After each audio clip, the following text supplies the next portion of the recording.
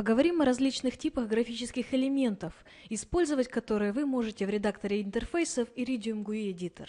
Графические элементы – это объекты интерфейса, способные воспринимать управляющие воздействия и отправлять команды управляемому оборудованию, а также воздействовать на состояние других объектов интерфейса.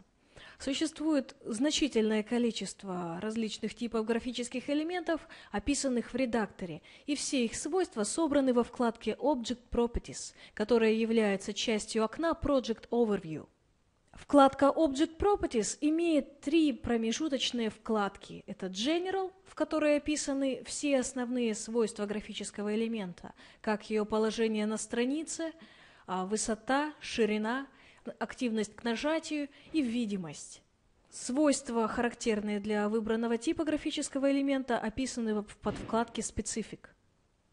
Вкладка «Программинг» служит для размещения команд и управляющих воздействий, инициируемых по разным событиям. Здесь вы видите события «Пресс» – нажатие на элемент, «Релиз» – отпускание элемента, «Hold» – удержание элемента и «Move» – движение пальца по ползунку слайдера. Во вкладке Relations описаны все связи графического элемента с другими переменными проекта.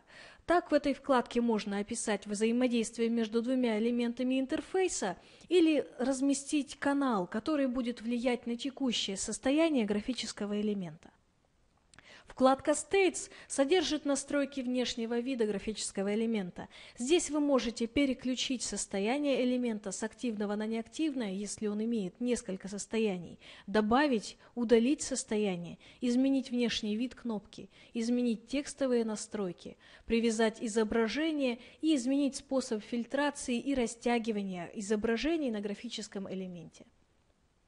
Итак, перейдем к описанию основных типов графических элементов, используемых в редакторе. Первый и основной тип графического элемента – это button – кнопка с двумя состояниями. Это стандартный элемент, который может использоваться для отправки фиксированных значений оборудованию, а также для отображения статуса переменной. Так, например, кнопка с двумя состояниями может отображать переключение переменной из неактивного состояния в активное. Кнопка с одним состоянием может использоваться для отправки значения графическому элементу, чтобы отобразить значение на кнопку с одним состоянием, если вы не хотите, чтобы состояние менялось. Можно использовать шаблоны вывода значений на графические элементы. Они будут описаны далее. Кнопка «Триггер» служит для переключения переменной из активного состояния в неактивное.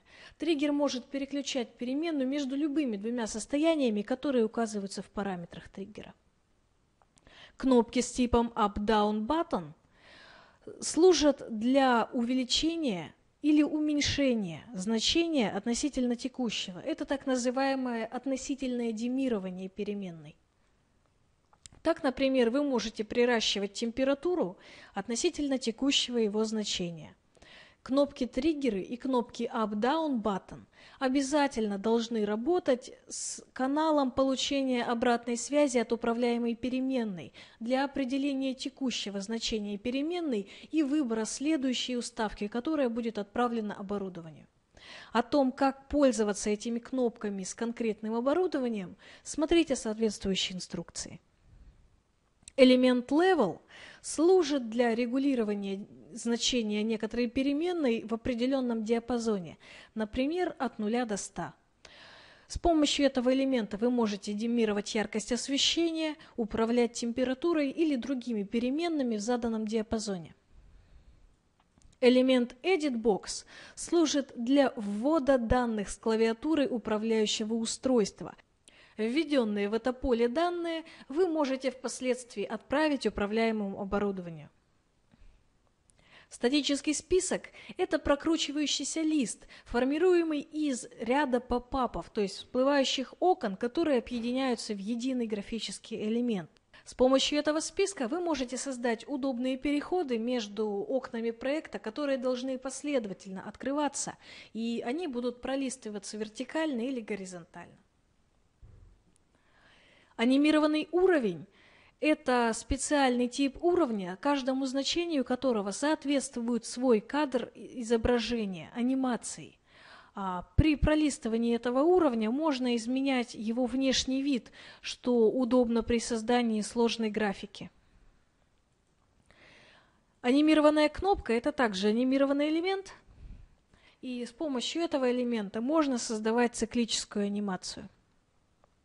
Джойстик – это элемент, который может отправлять управляемому оборудованию два значения, определяющие его координату x и y.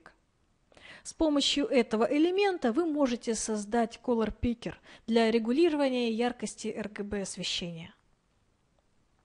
Виртуальная клавиша – это элемент, который может создать вам собственную клавиатуру в проекте.